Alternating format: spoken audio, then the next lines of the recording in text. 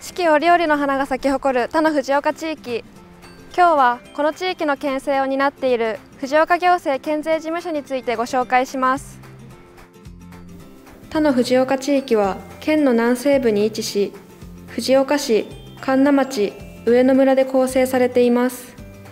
藤岡行政県税事務所は県の地域機関としてこの地域の地域振興業務や市町村と県の連絡調整県税に係る業務等を行っています。では各係の業務を詳しく見てみましょう。まず総務振興係についてご紹介します。観光振興業務として館内の観光イベントの企画開催観光パンフレットの作成など地域の観光 PR を行っています。署内窓口では検証士の払い戻しや行政資料の優勝頒布などを行っています。他には館内の防災関係防犯対策などの業務。最近では新型コロナウイルス感染症対策に係る県民事業者への広報者による呼びかけなども行っております。いらっしゃいませ。ここからは県税課の業務についてご説明いたします。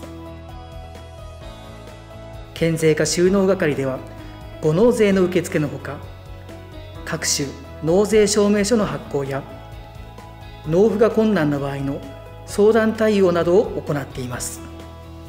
県税課課税係では県税制度のご説明のほか各種県税の計算と課税自動車税の減免申請の受付などを行っています。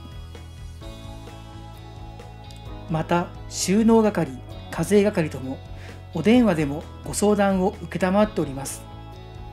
受付は平日午前8時30分から午後5時15分まで。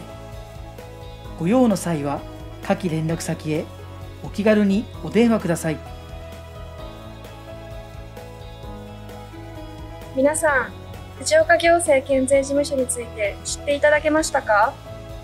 何かお困りの際はお気軽にこちらまでお越しください。おお待ちしております。